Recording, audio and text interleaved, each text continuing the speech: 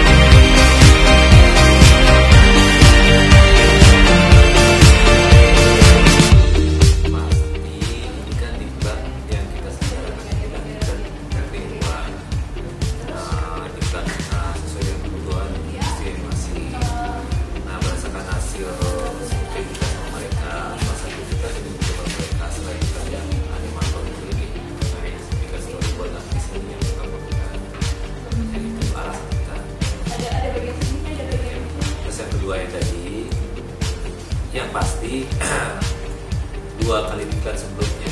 Nah, kita sebenarnya kena beda.